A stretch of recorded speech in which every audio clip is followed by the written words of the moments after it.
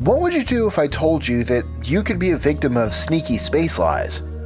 But don't worry, that you could be a victim of most of us have been victims to wrong information when it comes to space.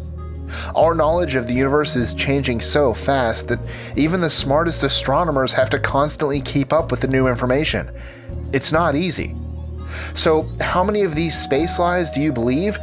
Well, I'm Mike with List 25, and let's find out with these 25 sneaky lies you were told about space.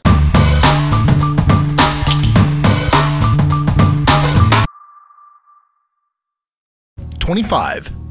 Astronauts are weightless in orbit. Well, sort of.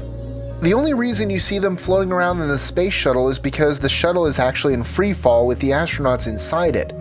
So, why don't they smash into the Earth? Simplistically, they're moving too fast laterally, and so they keep missing the ground.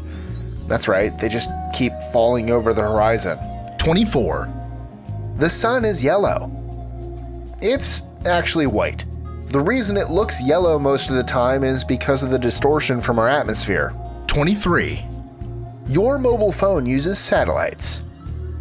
Usually, no. 99% of communication travels via undersea cables. Only a small portion is bounced off of satellites. Twenty-two. It would be dangerous to fly through an asteroid belt. If you've seen Star Wars, then you know what I'm talking about. The truth, however, is that if you actually did fly through an asteroid belt, you probably wouldn't even notice. The density of asteroids is significantly lower than Hollywood leads us to believe. Twenty-one. The Great Wall of China is the only man made structure visible from space. Nope, the Great Wall isn't actually all that visible. From the ISS, at about 250 miles up, you can see the Great Wall along with numerous other man made structures, but it's definitely not the most visible imprint of man on our planet. Twenty. Earth is a perfect sphere. Due to its spin, the Earth actually bulges at the equator. Nineteen. Mercury is the hottest planet.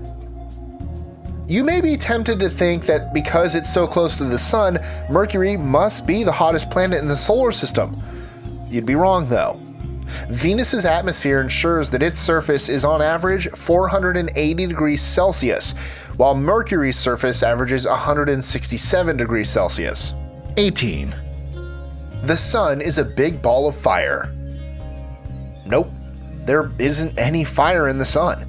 Fire requires oxygen, and the Sun is composed mostly of helium and hydrogen. In fact, the heat of the Sun comes from something called nuclear fusion. The pressure and temperature in the Sun's core cause the hydrogen atoms to fuse together into helium atoms. This process gives off the intense heat and light of the Sun. Seventeen. The Moon has a dark side. The dark side of the moon isn't doused in perpetual blackness, but rather it's simply always facing away from us due to the rotation of both the moon and the earth. A better name is the far side of the moon. And the only way to see this far side is by actually flying around the moon. Sixteen. Pluto is a planet. As we all know by now, Pluto used to be a planet. Sadly, that's not the case anymore. It's now considered a dwarf planet. Thanks, International Astronomical Union. But why? Beyond Neptune is something called the Kuiper Belt. This belt is basically a massive asteroid belt. While Pluto is one of the biggest objects in this belt, it's not the most massive. Fifteen. Planet 9. Although it hasn't been found yet, observations regarding the orbits of several outer planets have led to the high probability of there being an actual ninth planet. In all likelihood, it would be quite far away and a good bit bigger than Earth. Fourteen. Black holes are funnels. In movies, they're often portrayed as 2D suckers. In reality, black holes can be thought of as spheres. They're basically really dense stars with insanely strong gravity. Thirteen. In the Middle Ages, people thought the Earth was flat. Almost every scholar of the Middle Ages knew that the Earth was round. This is the reason that people set off sailing west to go east. In fact, the Greeks already knew the Earth was round by as early as 300 BC. Twelve. Space is cold. Not really. It's borderline impossible to measure a proper temperature in space because, well, there isn't much to measure. A high temperature essentially means that the atoms of a substance are excited. The vacuum of space, however, is significantly lacking in the atom department. So, yes, space is basically temperatureless. 11, You would freeze in space. As we just saw, it's not that simple. In fact, it's more likely that you'd overheat. Why? Because the heat your body generates won't have anywhere to go. On Earth, you can get rid of the heat, transfer it, by convection, conduction, etc. In space, there isn't much of anything to give your heat to. 10, Your blood would boil in space. Once again, this is quite wrong. While it is true that liquids will boil at much lower temperatures with less pressure, there's less pressure preventing the liquid from turning into a gas, it wouldn't happen to your blood. Why? Because your blood is in a closed system, and the effect of zero pressure wouldn't affect it immediately. Of course, liquids exposed to the environment would boil right away saliva, eyes, etc. Keep in mind this doesn't mean that they would be hot. They're simply turning into a gas due to the lower pressure. 9, Your body would explode in space. Once again, no. The human body may bloat a bit, but it wouldn't come apart. Not even close. In 1966, a technician in Houston was testing a spacesuit when he decompressed at 120,000 feet, almost 23 miles or 37 kilometers.